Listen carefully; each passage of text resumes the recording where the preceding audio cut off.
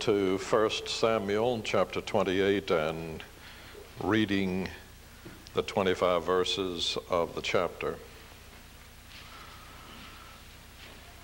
Now it happened in those days that the Philistines gathered their armies together for war to fight with Israel. And Achish said to David, You assuredly know that you will go out with me to battle, you and your men. So David said to Achish, Surely you know what your servant can do.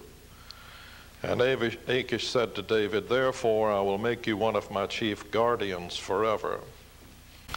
Now Samuel had died, and all Israel had lamented for him and buried him in Ramah in his own city.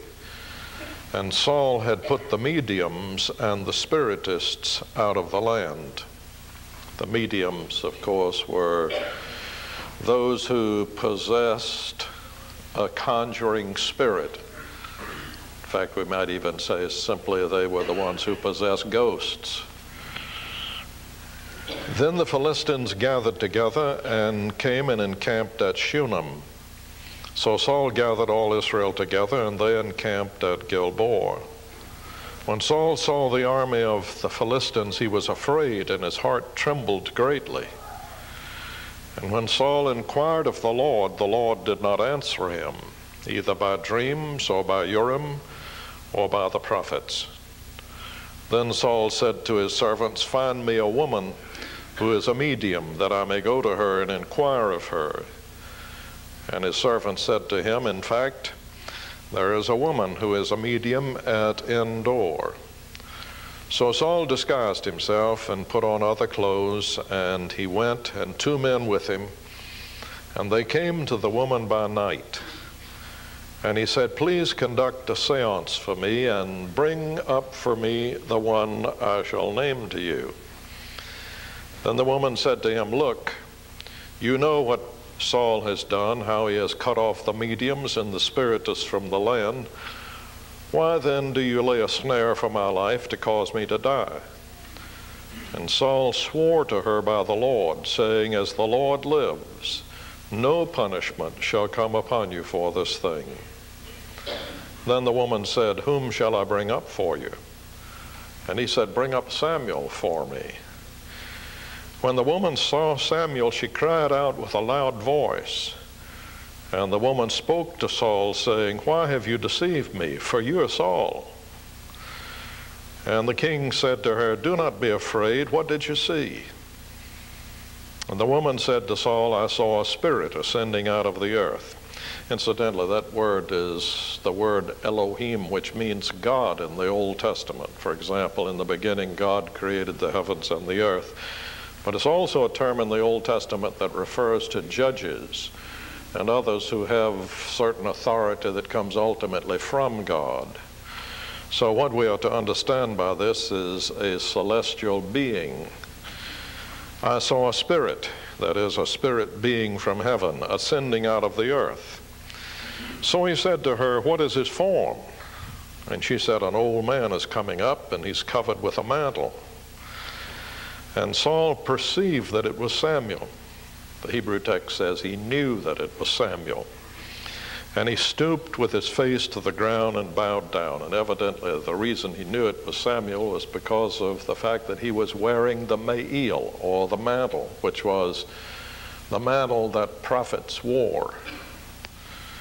And you remember Samuel is the first in the line of the prophets. Now Samuel said to Saul, Why have you disturbed me by bringing me up?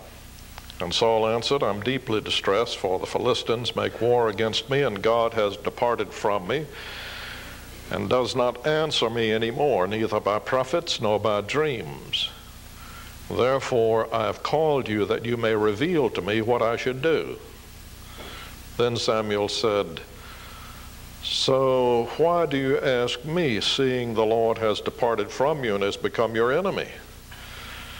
And the Lord has done for himself as he spoke by me. For the Lord has torn the, torn the kingdom out of your hand and giving it, given it to your neighbor David, because you did not obey the voice of the Lord, nor execute his fierce wrath upon Amalek. Therefore, the Lord has done this thing to you this day. You may remember that Saul disobeyed the Lord two very critical, very critical times, and the first of these was when he did not follow God's specific directions that he should destroy Amalek and destroy all of their properties man, man, woman, and child, and Saul refused to do it. And so that's the sense of no execute his fierce wrath upon Amalek. Moreover, the Lord will also deliver Israel with you into the hand of the Philistines, and tomorrow you and your sons will be with me. The Lord will also deliver the army of Israel into the hand of the Philistines. Immediately Saul fell full length on the ground and was dreadfully afraid because of the words of Samuel. And there was no strength in him, for he had eaten no food all day or all night. And the woman came to Saul and saw that he was severely troubled and said to him, Look, your maidservant has obeyed your voice, and I have put my life in my hands and heeded the words which you spoke to me. Now, therefore, please heed also the voice of your maidservant, and let me set a piece of bread before you and eat, that you may have strength when you go on your way. But he refused and said, I will not eat. So his servants, together with the woman, urged him, and he heeded their voice. Then he arose from the ground and sat on the bed. Now the woman had a fatted calf in the house, and she hastened to kill it, and she took flour and kneaded it, and baked unleavened bread from it. So she brought it before Saul and his servants, and they ate. Then they rose and went away that night. May the Lord bless this reading of his word, and let's bow together in a moment of prayer.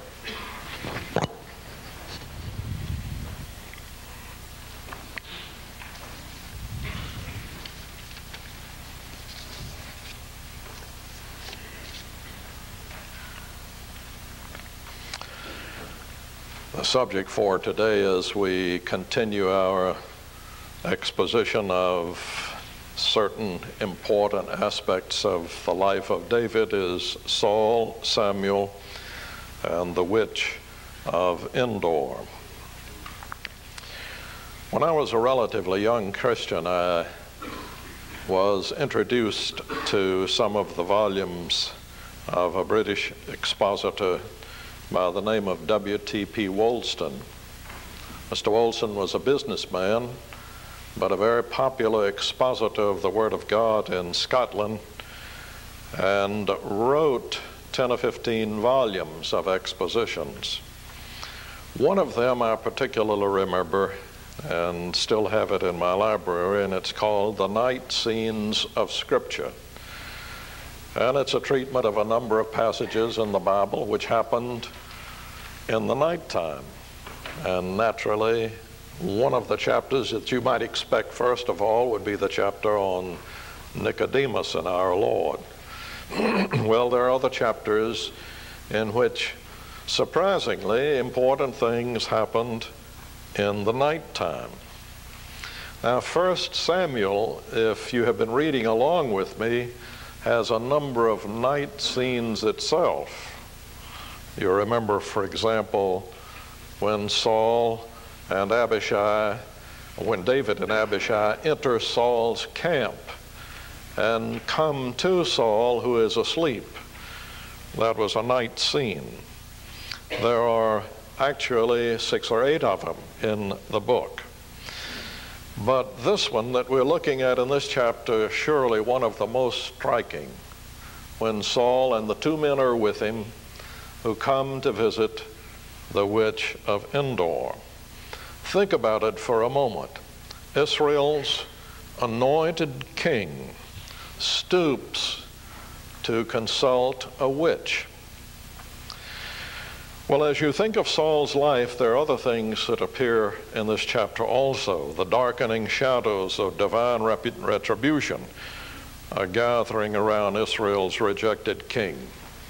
Someone has put it like this The ministers of vengeance are gathering like vultures to the prey. From the invisible ether, first a speck, and then a vulture, till the air is dark with pinions, And as Saul's life draws to its close, I think you can appreciate some of the sense of that in that king's life.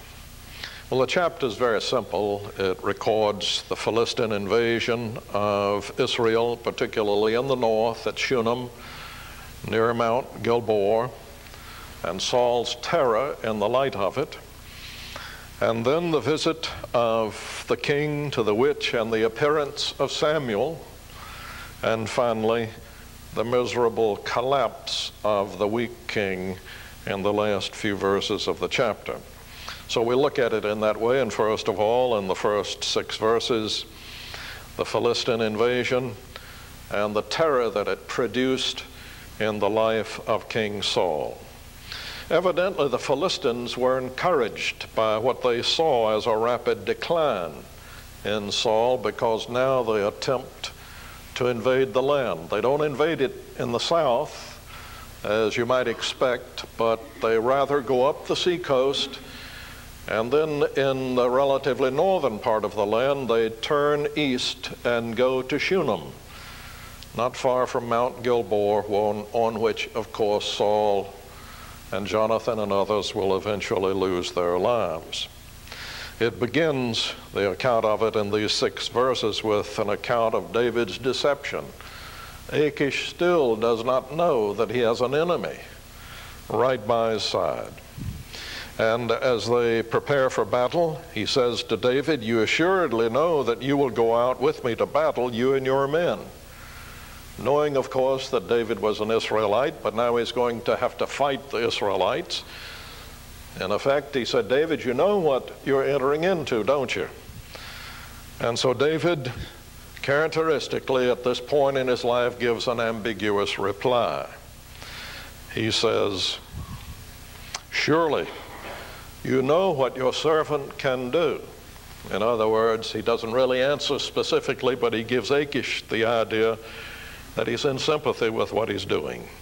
He's in the embarrassed situation in which he has to lie, in effect, because of his sin. We love, we believers, in the sovereign grace of God to speak about the providence of God. And uh, it is one of the great doctrines of the Word of God, and uh, the foresight of the Lord God the reason he has foresight, of course, is because he has foreordained things that come to pass. But in any way, we rejoice in the providence of God. But have you ever noticed this about the providence of God? That the providence of God has a manifest tendency to allow troubles to cross the path of us when we are doing something wrong, just when for our own purposes, it would be desirable to, desirable to have our path quite clear.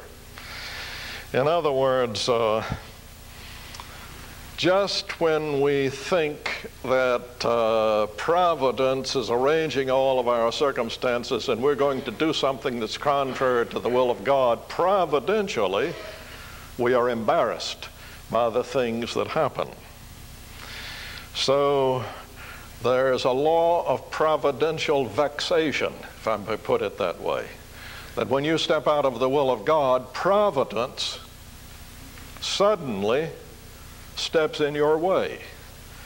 So rejoice in the doctrine of divine providence, but remember, that when you step out of God's will, there is a law of providential vexation. And you will find that when you step out of the will of God, providence arranges circumstances so that you're embarrassed by what happens to you.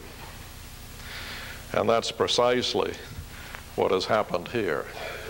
David, if he believed in the providence of God, I assume that he did he discovers now, of course, that providence has so arranged it in the light of his deception that he's embarrassed. He has to lie in the midst of the circumstances. Well, the military confronta- confrontation is described in verses 3 and 4. Saul had, Samuel had died, and now the Philistines and the Israelites are gathered over against each other up near Gilboa. And Saul is very much disturbed about what has happened. And so we read in verses 5 and 6 when Saul saw the army of the Philistines, he was afraid and his heart trembled greatly. The reason Saul trembled, of course, was because of his rebellious spirit.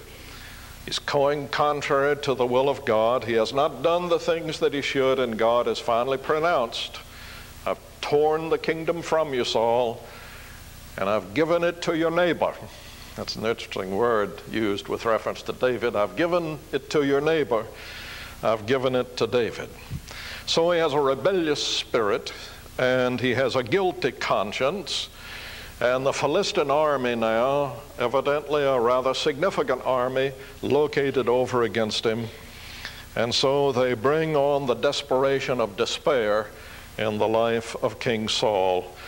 And this great king, this great man who began his life so wonderfully, now trembles at the shaking of a leaf. You know, it is true, if you study the Word of God, that men may seek God and not find Him. We often say that uh, no one who seeks God will fail to find Him.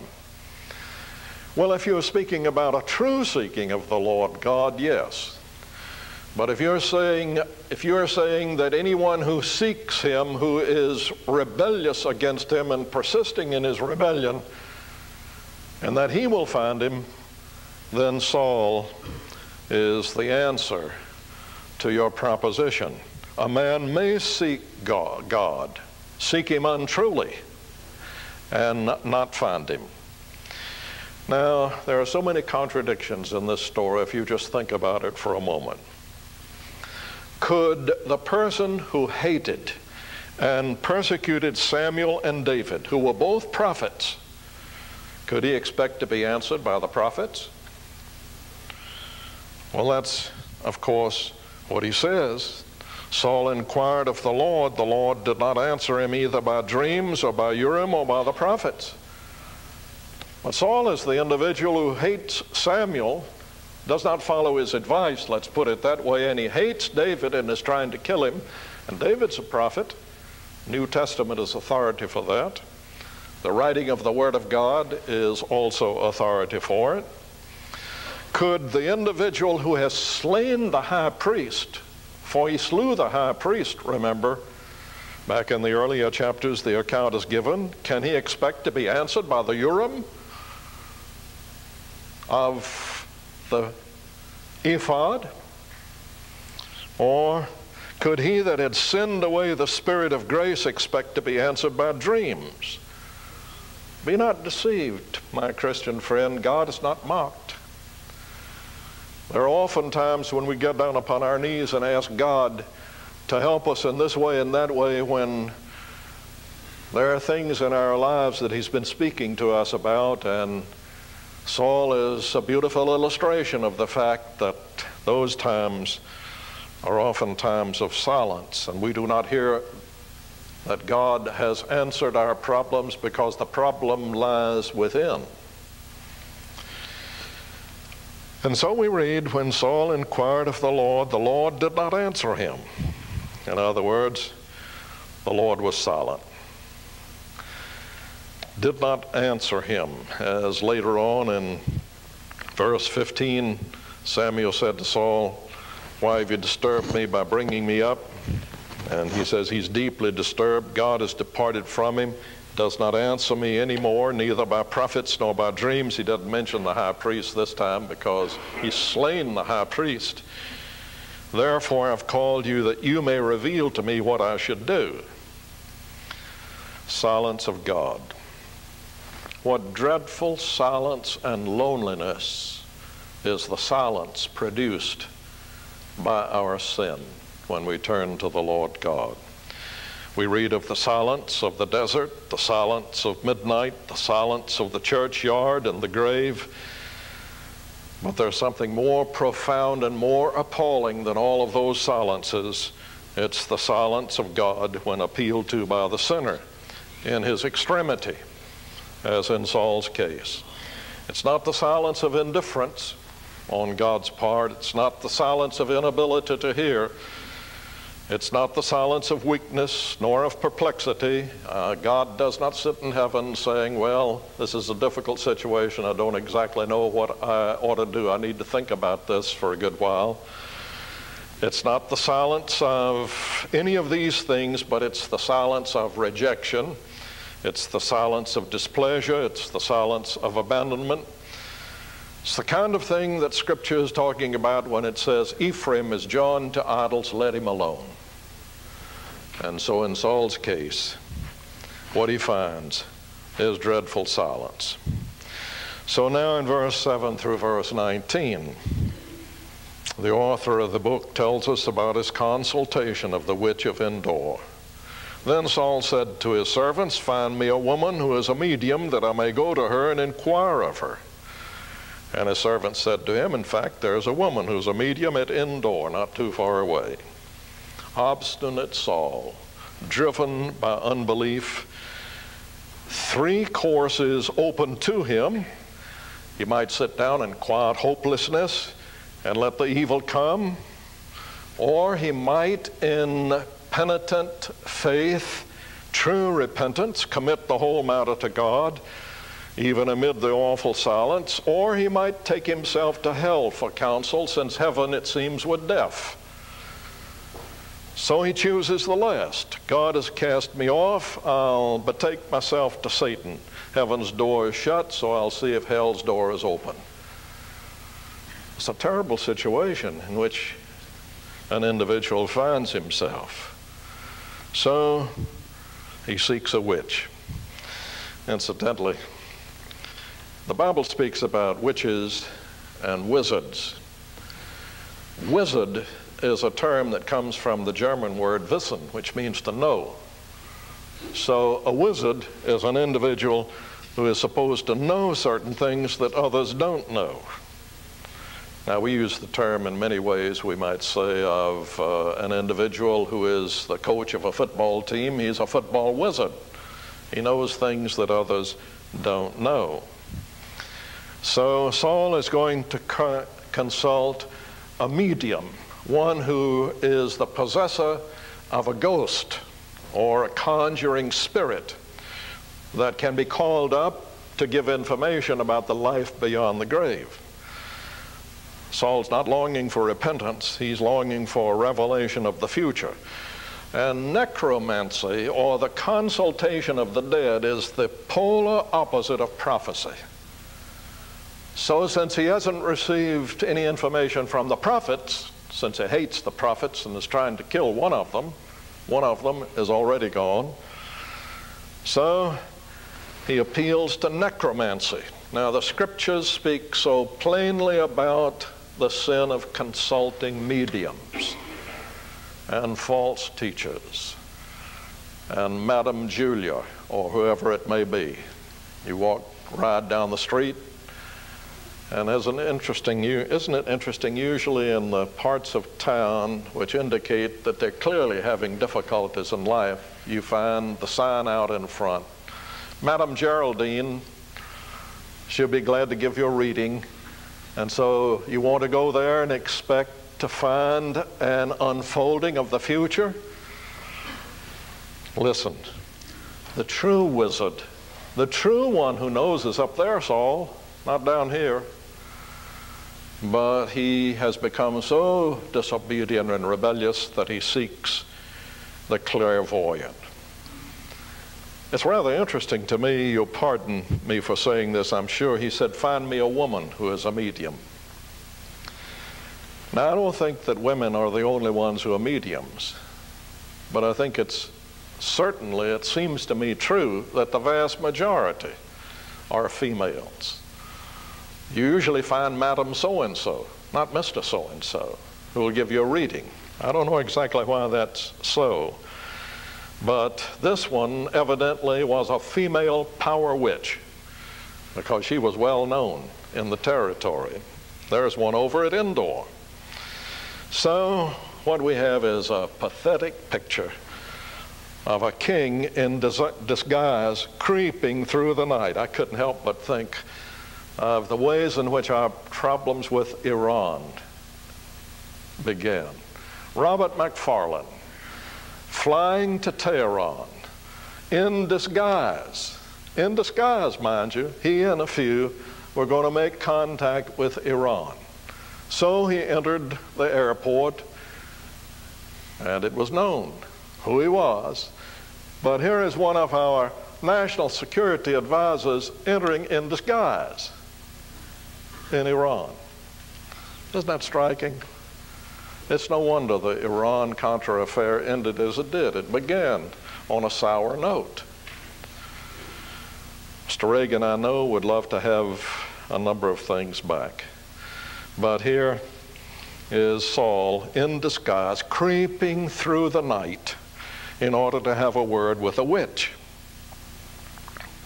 The absurdity of what he tells the witch of Endor when she said, Look, Saul has already said that if we practice our art, he's going to do away with us. You'll notice back in the third verse it was stated, and Saul had put the mediums and the spiritists out of the land earlier. But it's obvious that it was something he wasn't fully in harmony with, or at least in sympathy with. So in the ninth verse, she said to Saul, Look, you know what Saul has done, how he has cut off the mediums and the spiritists from the land. Why then do you lay a snare for my life to cause me to die? Now notice how Saul replies. This is so characteristic of us. He said, As the Lord lives. He swore to her by the Lord. Here is a man who swore to her by the Lord and furthermore underlines it by saying, as the Lord lives.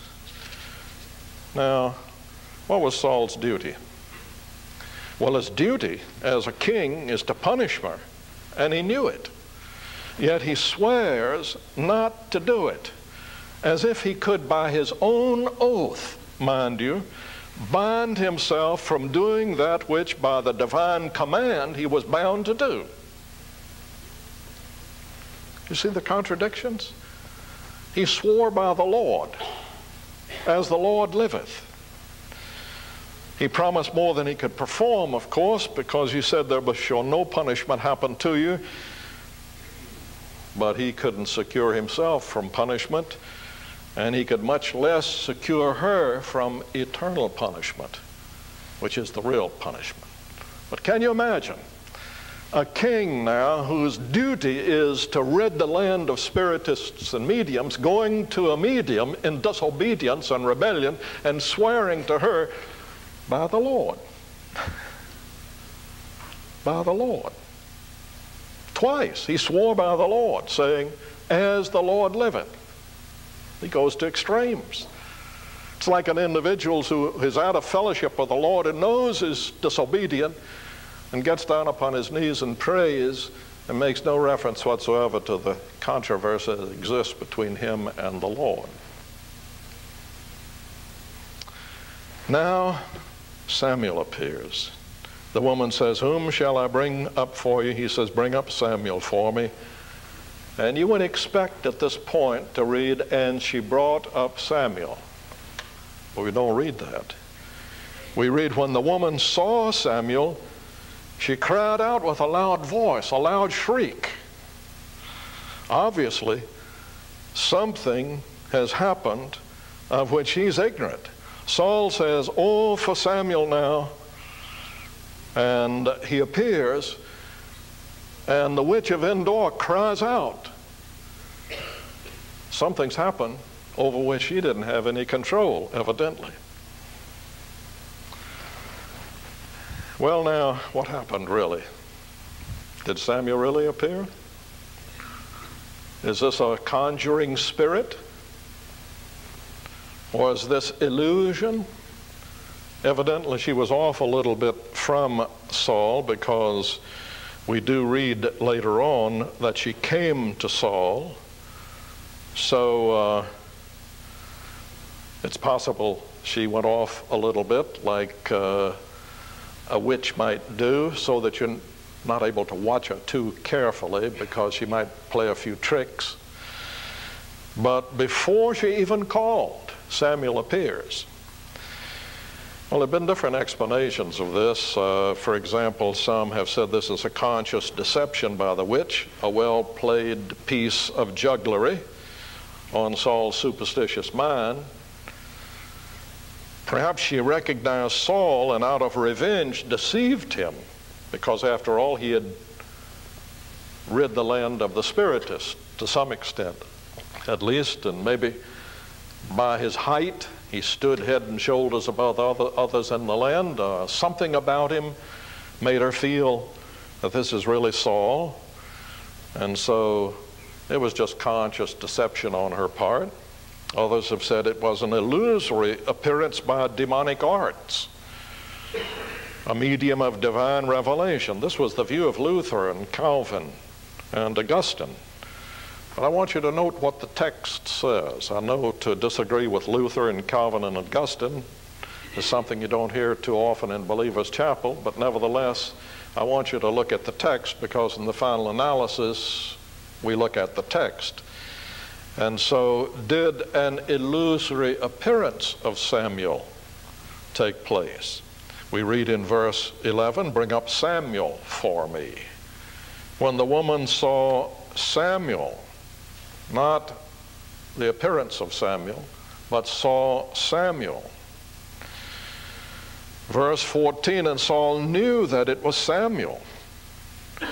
Now Samuel said to Saul, verse 16, Then Samuel said, and verse 20 immediately Saul fell full length on the ground and was dreadfully afraid because of the words of Samuel. So far as the text is concerned, there isn't any indication at all that this was an illusory appearance by demonic arts. So I suggest that what this is is a real appearance of Samuel, a real apparition evoked by the divine will and power. And the very fact that the woman is startled by what happens indicates she wasn't prepared for what took place. She cries out with the Hebrew text says, a great voice, the way in which the Lord cries out in the New Testament, with a great voice, My God, my God, why hast thou forsaken me? It was a loud shriek. She herself was terrified by what she actually saw. So she's shocked. And therefore, I suggest that what we really have here is a true appearance of Samuel. It's almost as if uh, you have a situation that's very similar to a scene in Hamlet when uh, the king, um, someone says, This spirit dumb to us will speak to him. So uh, it may be that, in the light of the fact that uh, this is a king, uh, these arts that which he practiced would work much better than with someone else. Well, uh, I therefore take, take this that this is a reference to Samuel himself. And Samuel does not come merely by divine permission, which is much too little to say, but rather it was by the special command of God Himself that Samuel appeared. And uh, therefore, I take this to be a true appearance of Samuel, that is, the person. But the form in which he appeared is a form that reminds Saul immediately of the reality of the appearance. Now, the conversation begins in verse 15 with Now Samuel said to Saul, Why have you disturbed me by bringing me up? I'm surprised that it didn't start out by saying, Now, Saul, really, your basic problem is your loss of self esteem. And uh, let's deal with that first, then we can deal with these other matters. But no, Saul's problem is not his loss of self esteem. Saul's problem is his disobedience, it's his sin, it's his rebellious spirit. And fundamentally, my Christian friend, that's our problem too. That's the problem in the experiences of life as a Christian the disobedient spirit that we still have within us, the sin principle that dwells within us. And if by God's grace we are enabled to walk in harmony with His Word, we cannot do that perfectly, of course, but if we make it the aim of our life to walk by His Word insofar as we're enabled by God, and when we fall, to go directly to Him in confession and sin, then we won't have any problem with self esteem or anything else. We'll have the right view of ourselves, the accurate view of ourselves, which leads to peace and happiness and fruitfulness in the Christian life. So, no, the problem of Saul is not self esteem, it's the distress that now grips his spirit by virtue of his disobedience. Actually, Saul has already been given the answer.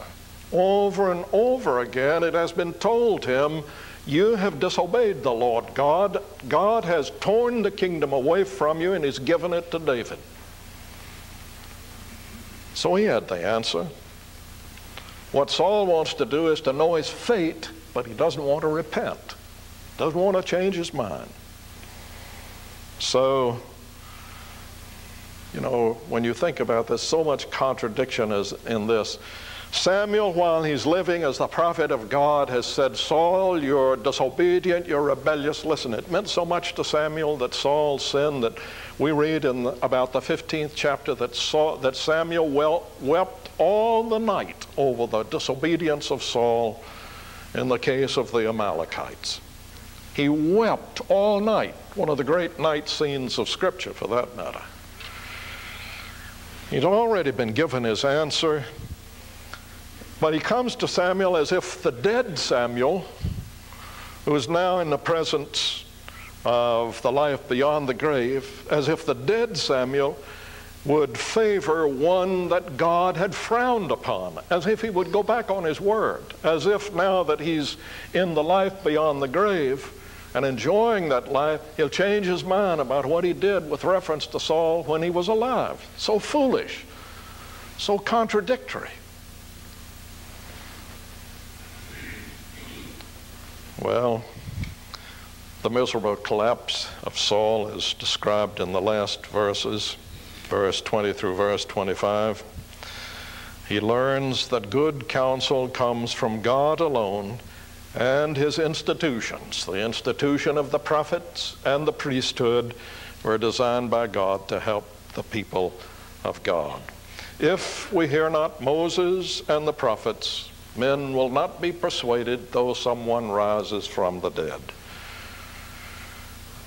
How important that is. If you do not pay attention to the Word of God, if you and I do not listen to what Scripture says, no miraculous experience will mean anything to us.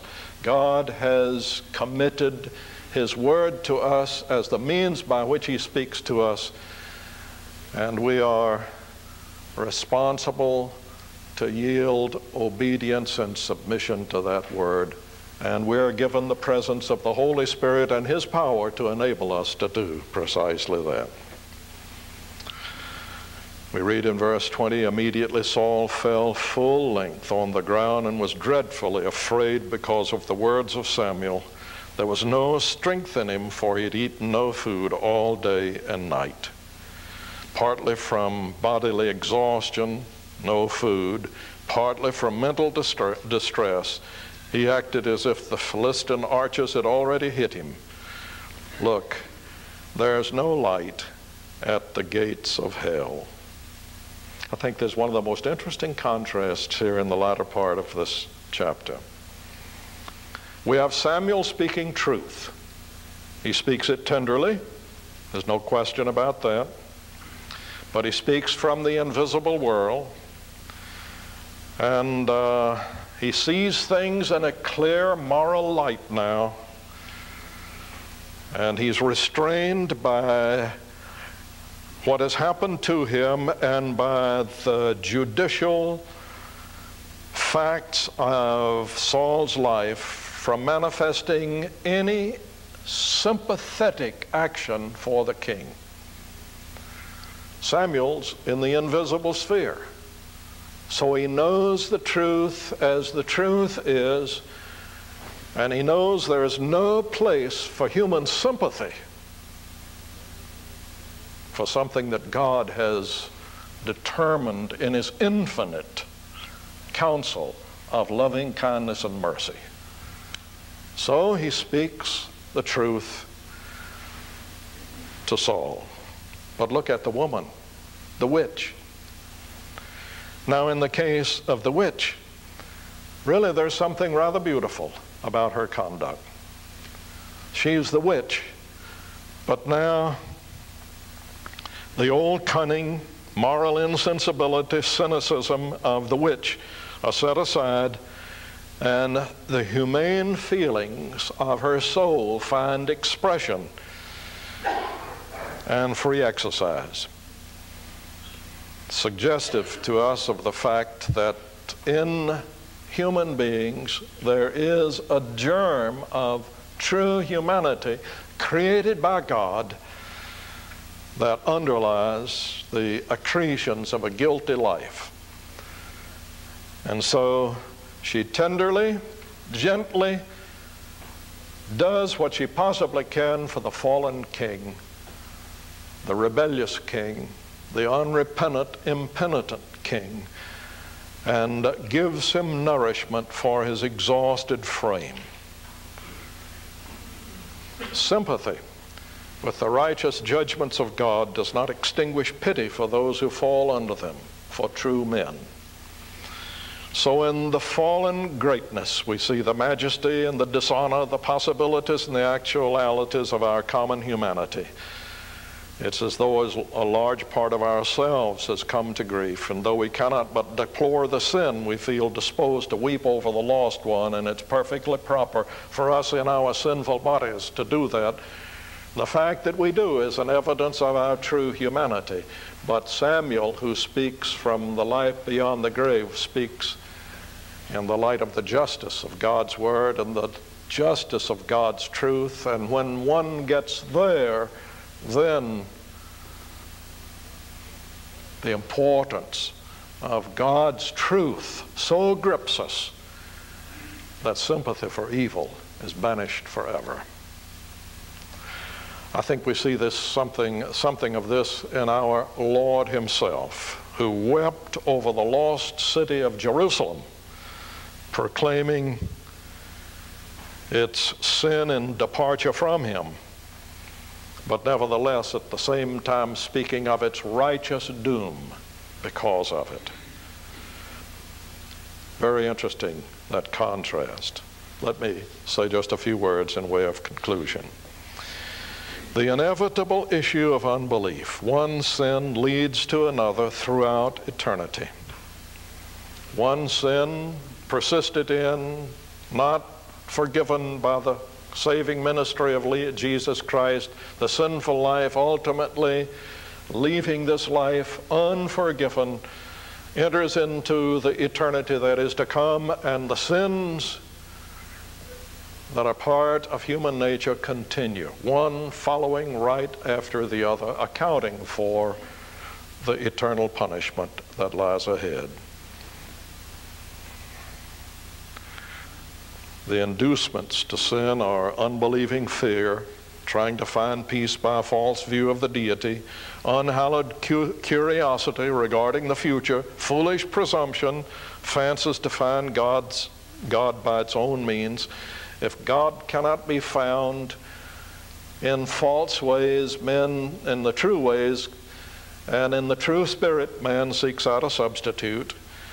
And in Saul's case, it was the witch of Endor but above all, the pathetic tragedy of unrealized promise, the story of a man whose life ran headlong to ruin.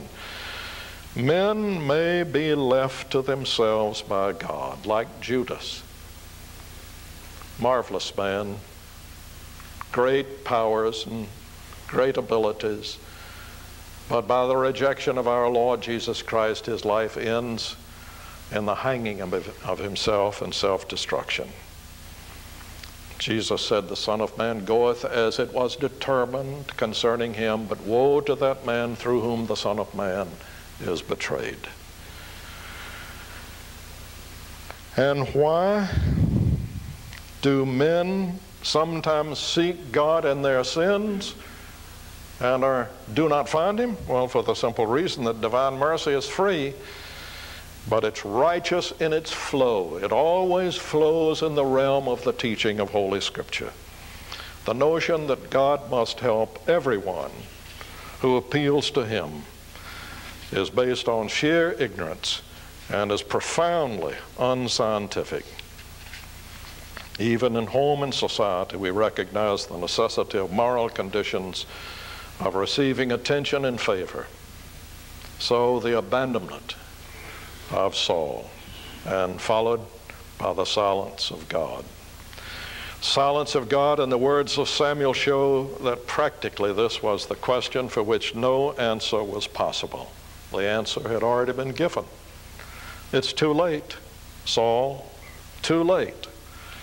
And so it is in human life still. Men persist in evil ways at home or in business till the ruin of domestic peace and of their prospects is inevitable, and no course is open for retrieval.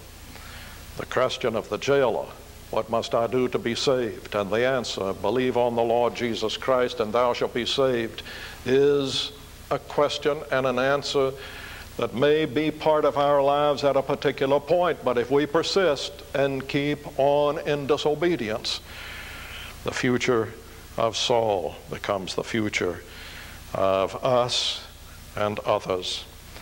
The question of the jailer, what must I do to be saved, is an opportune question, and there is an opportune answer.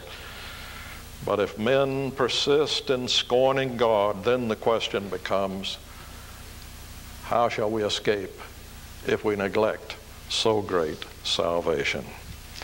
You know, I noticed something this week I never noticed before. I'll just state this as I close. Have you ever noticed that when the Bible speaks about the future and the judgment of the future, that there is never any objections to it in our Lord's parables, for example, in which he speaks about it. In other words, just as Saul, when the word came to him, he doesn't say, that's unfair, that's unjust. But deep down within him, in his collapse, that's all he can do. It's right, it's just, it's fair, and even against himself. He realizes it in his utter separation from God. Jesus tells a number of parables about the future. In every one of them, when he pronounces the judgment, there's no objection. It's no, it's unjust. It's unfair.